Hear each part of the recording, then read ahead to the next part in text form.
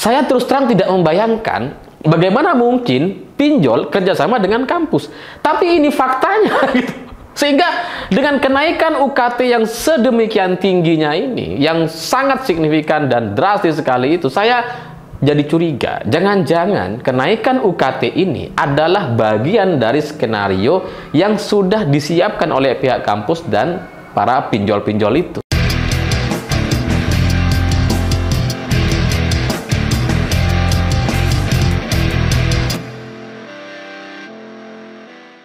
Selamat malam semuanya. Dalam beberapa minggu terakhir ini ramai sekali perbincangan terkait kenaikan biaya UKT atau uang kuliah tunggal atau bahasa lainnya ya biaya kuliah lah.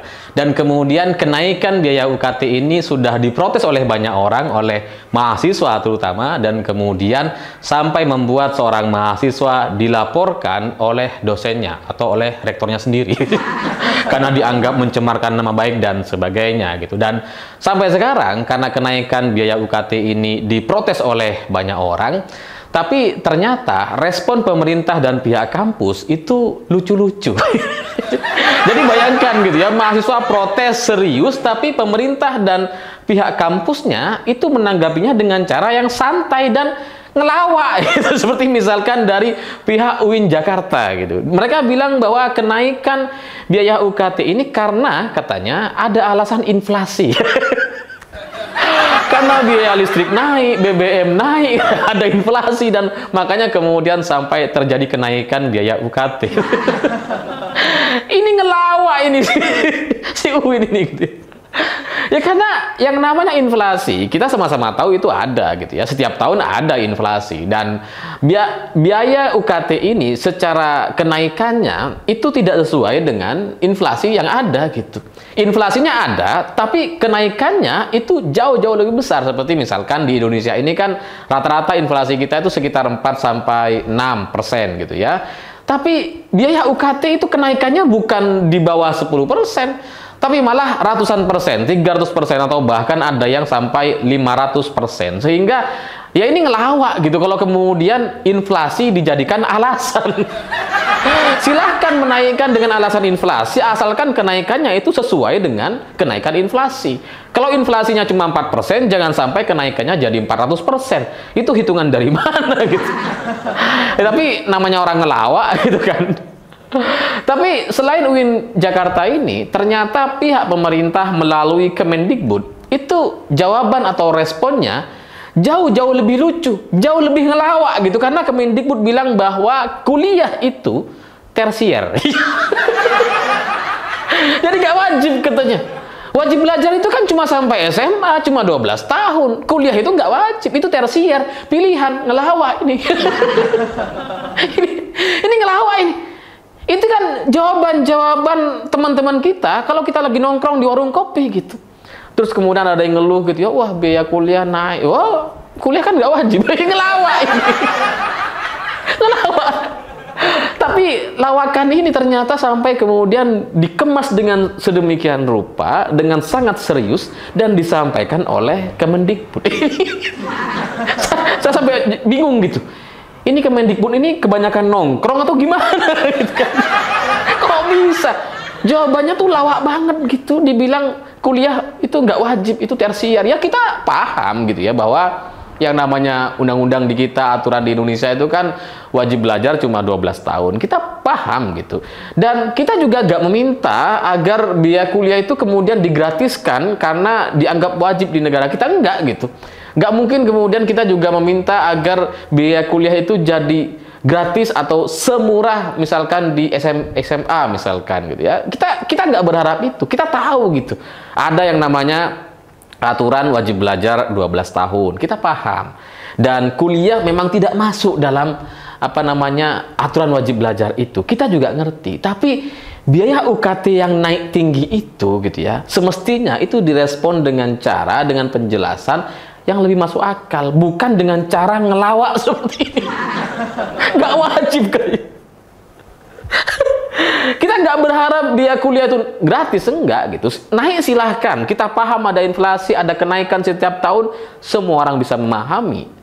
tapi kenaikannya mbok ya yang wajar gitu. Sam jangan sampai kemudian ratusan persen seperti yang terjadi sekarang. Nah, di Kemendikbud sendiri semestinya pernyataan-pernyataan ngelawak seperti ini, ini nggak muncul gitu. Karena terus terang, jawaban-jawaban seperti ini tuh menjengkelkan, emang jawaban menjengkelkan gitu. Kayak teman kita curhat gitu ya, lagi nongkrong, terus kemudian kita beri jawaban yang kayak gini, menjengkelkan sekali. Tapi ya karena teman kita ketawa. Nah, kalau pemerintah, Kemendikbud mau memberikan pernyataan-pernyataan yang ngelawak seperti ini, ini bisa dipukuli sama orang. Coba aja kalian kalau nggak percaya gitu kan. Jawaban seperti ini terus-terus kalian gunakan untuk banyak apa namanya kenaikan di negara kita. Misalkan nanti tiba-tiba BBM naik gitu ya. Coba saja gunakan pernyataan yang seperti ini. Oh, BBM itu tersier, pilihan, nggak wajib, masih bisa jalan kaki, masih bisa naik angkot gitu ya, naik bis gitu ya, masih bisa naik sepeda yang tidak perlu BBM misalkan. Coba aja kalian berikan jawaban seperti itu, pasti di demo sama banyak orang gitu. Tapi ya untungnya Kemendikbud ini hanya berhadapan dengan orang-orang terpelajar, gitu, dengan mahasiswa, dengan orang-orang yang uh, belajar di kampus, sehingga responnya itu nggak nggak radikal gitu, nggak nggak nggak sembarangan gitu ya. Pihak mahasiswa ya tetap masih berdemo dengan caranya, tidak kemudian melakukan tindakan-tindakan yang bisa dilakukan oleh orang awam atau orang yang tidak terpelajar gitu. Karena kalau seandainya bahasa seperti ini disampaikan untuk banyak sekali kenaikan yang ada di negara kita seperti kenaikan minyak goreng, kenaikan BBM gitu. itu itu pasti diprotes oleh banyak orang gitu. Tapi dari sini gitu ya, semestinya Kemendikbud itu ya namanya Kementerian Pendidikan gitu ya. Mestinya lebih berpendidikan, lebih berbudaya mestinya gitu. Jadi jangan sampai kemudian muncul eh, pernyataan-pernyataan yang ngelawak seperti ini. Apalagi kita tidak punya opsi apa-apa gitu. Karena kalau anak nggak kuliah gitu kan, kalau kita nggak kuliah, kita kan nggak punya opsi apa gitu. Apakah ada pelatihan yang kemudian bisa diterima oleh perusahaan-perusahaan di Indonesia misalkan? Ataukah ada kompensasi misalkan atau rekomendasi bagi anak-anak SMA untuk bisa langsung kerja tanpa perlu S1 misalkan? Atau habis ini gitu ya, kalau ini memang kemudian pemerintah merasa kuliah itu tidak wajib, maka seharusnya muncul aturan yang menyesuaikan di mana perusahaan-perusahaan yang mau menerima pekerja itu mencoret syarat S1 ya karena nggak wajib kan kenapa perusahaan mewajibkan? Kalau nggak wajib kata pemerintah gitu. Ini harus sesuai gitu kan. Ya, tapi dari pernyataan Kemendikbud ini yang menyedihkan bagi saya pernyataan ini adalah sebuah pernyataan yang secara tidak langsung mendukung ke kenaikan biaya UKT. Jadi coba bayangkan gitu ya, sebenarnya kenaikan UKT ini sudah terjadi sejak bulan Januari lalu dan ini sudah disuarakan oleh banyak pihak termasuk uh, Capres Anies Baswedan dan Pak Ganjar Pranowo gitu ya. Makanya sampai Pak Ganjar bilang untuk menggratiskan uh, apa namanya memberikan program satu sarja satu keluarga miskin satu sarjana gitu. Untuk ya menyelesaikan permasalahan ini. Ya, tapi kalau kita mau melihat secara menyeluruh dari kenaikan biaya UKT dan kemudian direspon oleh pihak Kemendikbud dengan cara-cara ngelawak seperti ini, itu kan secara nggak langsung dia membenarkan, mendukung gitu ya. Ya karena kalau Kemendikbud nggak mendukung gitu kan, mestinya dia yang benar dia panggil dong kampus-kampus yang menaikkan biaya UKT sampai ratusan persen sampai nggak masuk akal misalkan 300% atau bahkan sampai 500% panggil. Harusnya evaluasi kenapa terjadi kenaikan yang sangat signifikan? Kalau misalkan ada alasan inflasi ya naiknya jangan sampai kemudian sedrastis itu gitu. Harusnya evaluasi tapi pihak Kemendikbud kena, kenapa kemudian tidak melakukan itu? Malah mengatakan bahwa oh kuliah itu tersier itu nggak wajib. Ini kan seperti ya nggak apa-apa gitu. Seperti memberikan jawaban kepada pihak-pihak kampus nggak apa-apa UKT naik silakan silakan ayo naik nggak apa-apa oh kuliah itu nggak wajib kok Gak apa-apa, ayo silahkan gitu ya. Jangan cuma 100% atau 500%. Kalau bisa 1000% naikin terus gitu ya. Lo nggak wajib kan bebas, namanya nggak wajib gitu kan. ya, jadi ya dari sini, dari respon Kemendikbud ini nampaknya kita memang tidak bisa berharap banyak kepada pemerintah gitu. Karena ya apa yang bisa kita harapkan dari pemerintahan yang tidak paham soal etika dan suka nabrak-nabrak aturan. Jadi ya kalau dari pihak elitnya sudah seperti itu, kita harus maklum kalau kemudian di kampus-kampus juga melakukan cara-cara yang sama. Karena setelah ini mereka akan bilang bahwa UKT nah itu kan nggak melanggar hukum. Oh itu nggak apa-apa, kan nggak ada pelanggaran di sana. Apa yang dipermasalahkan gitu.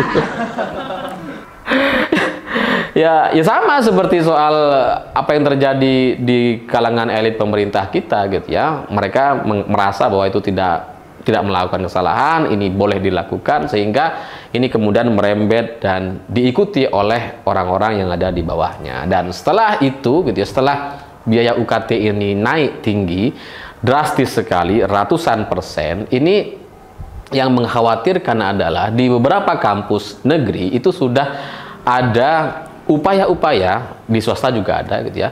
Upaya atau gaya-gaya baru yang coba diterapkan bagi mahasiswa untuk membayar UKT yaitu membayarnya dengan sistem utang atau pinjaman online. Dan ini bukan satu dua kampus saja yang sudah bahkan melakukan kerjasama gitu ya. jadi kampus sudah bekerja sama ada beberapa gitu ya saya nggak perlu sebutkan. Kalian cek aja gitu ya sudah bekerja sama dengan uh, pinjaman online dan kemudian membuat skema-skema tertentu untuk supaya nanti mahasiswa yang tidak mampu untuk bayar itu bisa lewat pinjol. Mereka udah kerjasama. Saya terus terang tidak membayangkan bagaimana mungkin pinjol kerjasama dengan kampus. Tapi ini faktanya gitu. Sehingga dengan kenaikan UKT yang sedemikian tingginya ini, yang sangat signifikan dan drastis sekali itu, saya jadi curiga. Jangan-jangan kenaikan UKT ini adalah bagian dari skenario yang sudah disiapkan oleh pihak kampus dan para pinjol-pinjol itu gitu. Karena dengan naiknya UKT gitu ya, itu kan akan membuat banyak orang jadi gak mampu untuk bayar gitu. Nah, kalau gak mampu untuk bayar, pinjol solusinya. Kampus sudah kerjasama. Gitu. Kebayang nggak gitu ya? Betapa sempurnanya sistem dan mekanisme ini gitu kan.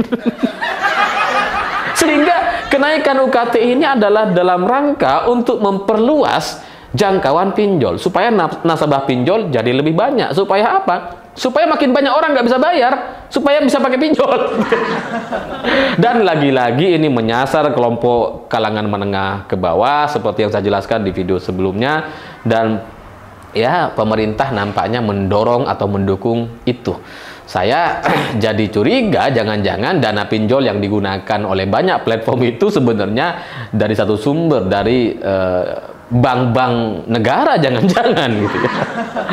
atau dari pihak-pihak elit atau konglomerat yang memang punya dana cukup besar untuk menggerakkan ini semua gitu karena uh, dengan adanya pinjol ini dana pinjol itu kan suka nggak suka kita harus yakini itu adalah milik para elit konglomerat atau pihak pemerintah gitu ya yang kemudian disalurkan oleh pihak ketiga ya pakai kaki tangan kaki tangan lah tidak secara langsung gitu ya untuk kemudian bikin usaha-usaha pinjol ini. Karena legal dibolehkan kerjasama dengan kampus gitu.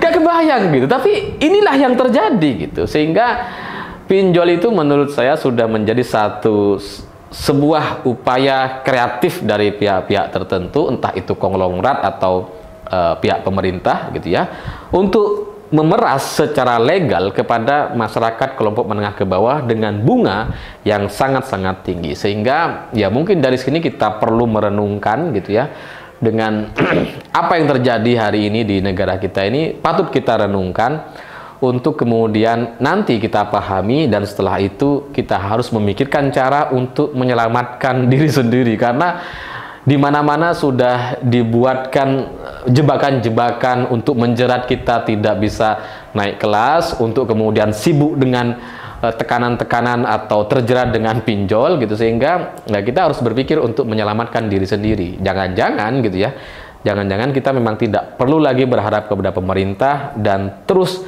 melakukan upaya-upaya mandiri untuk melawan sistem dan skema ini. Meskipun sampai sekarang saya juga nggak ngerti. Kalau anak nggak kuliah itu kemudian harus ngapain, saya juga nggak paham gitu ya. Kalau uh, setelah SMA langsung kerja, uh, mungkin bisa gitu ya. Tapi tidak semua pekerjaan kan bisa di bisa menerima lulusan SMA. Kalau mau usaha, wira swasta dan sebagainya itu butuh privilege dari orang tua gitu dan nggak semua orang tua bisa melakukan itu sehingga ya kita harus pahami saja, cari caranya untuk kemudian keluar dari jebakan-jebakan ini karena sudah sedemikian mengerikan dan nampaknya pemerintah malah mendorong ini agar terus terlaksana. Saya pikir itu terima kasih sudah menonton. Begitulah kura-kura.